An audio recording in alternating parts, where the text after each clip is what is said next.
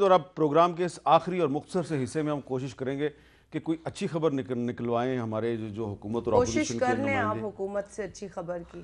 کوشش کریں گے لیکن پہلے ہم آپ کو کچھ انفارمیشن دینے کی کوشش کریں گے کیونکہ ہم نے یہ اب ایک سلسلہ شروع کیا ہے کہ لوگوں کو تھوڑی سی انفارمیشن بھی دی جائے اور پاکستان کے مختلف شہروں کے بارے میں سمجھایا جائے کہ ان کے نام کے پیچھے کیا ہے۔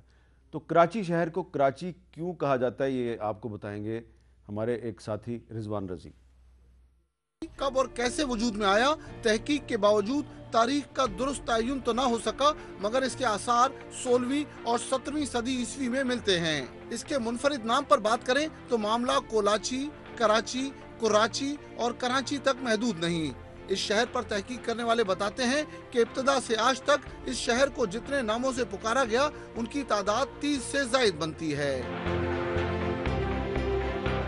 اس میں کلاتکار بھی ہے، کرا شیر بھی ہے کراچے بھی ہے کولاچی بھی ہے کولاچی جو کنڈ بھی ہے۔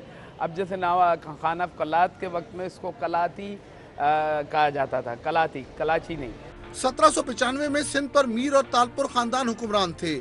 اسی زمانے میں خان آف کلات اور سندھ کے حکمرانوں میں جنگ ہوئی، جس کے بعد کراچی خان آف کلات کی مملکت میں شامل ہو گیا۔ اس کے بعد برطانیہ نے باقی ہندوستان کی طرح سندھ کو بھی اپنی کالونی میں تبدیل کر دیا۔ انیس سو اڑتالیس میں کراچی کو پاکستان کا دارالحکومت بنایا گیا، مگر انیس سو تریسٹھ میں دارالحکومت اسلام آباد منتقل کر دیا گیا۔ ماضی کے برعکس، یہ ایک مچھروں کی چھوٹی سی بستی نہیں رہا، ملک کا سب سے بڑا اور دنیا کا آٹھواں بڑا شہر ہے۔ پروگرام کیپٹل ٹاک کے لیے کیمرامین شاہد اسماعیل کے ساتھ۔ کامران رضی، جیو نیوز، کراچی۔